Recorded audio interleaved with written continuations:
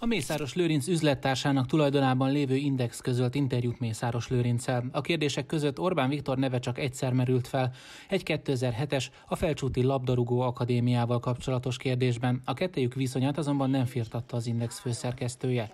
Rákérdezett viszont arra, amit gyakran felrónak a vállalkozónak, hogy politikai hátszéllel jut a megbízásokhoz. Mészáros Lőrinc azt mondta, a közbeszerzési eljárások kevesebb mint 10%-át nyertük el, vagy kizárólagosan, vagy másokkal társulva. Aki tehát azt állítja, hogy mi mindent viszünk, az nem mond igazat.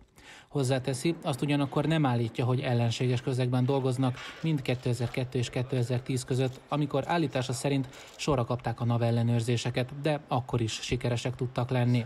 Az igazi siker a 100 leggazdagabb most megjelent kiadványa szerint 2016-tól jött el, ekkor kezdett szinte exponenciálisan növekedni a vagyona.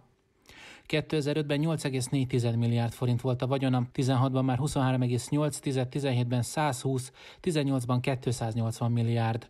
2019-ben kisebb megtorpanás, majd 2020-ban csökkenés következett, de 2021-re 455 milliárd forintra növekedett a mészáros vagyon. Szerinte jobboldali kiállása miatt támadják. Azt mondta, az ellenzék a Mészáros csoporton és más jobboldalhoz kötődő gazdasági szereplőkön keresztül támadja a kormányt. A válság miatt 17,7 milliárd forint állami támogatást kapott a hozzá tartozó Hungest Hotels. Erről azt mondta, csak a támogatások utolsó körében kerültek sorra, először a kisebb vállalkozókon segített a kormány.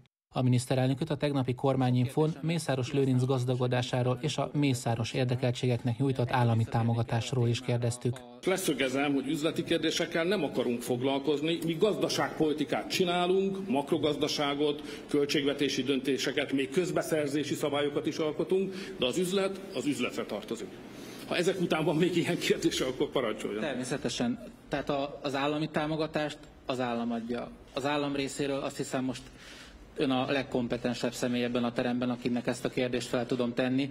Ugye az volt a kérdés, hogy mennyi állami támogatást kaptak Mészáros Lőrinc érdekeltségei a válság idején az elmúlt Azért kell önnek, azért javaslom önnek mégis csak, hogy forduljon az érintettekhez, mert ott van a tudás arról, hogy egy-egy gazdasági szereplő vagy cégnek mik a tulajdonos viszonyai. Ezt a kormány nem vizsgálja. Mészáros Lőrinctől az Index azt is megkérdezte, nem tart-e attól, mi lesz, ha az ellenzék kormányra kerül. Úgy fogalmazott, ekkora vállalatot csak transzparensen lehet működtetni.